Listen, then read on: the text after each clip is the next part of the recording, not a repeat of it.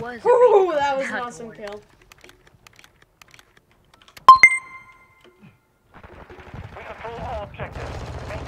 When Astesh says that was an awesome kill and you hear the Medal clipper in the background.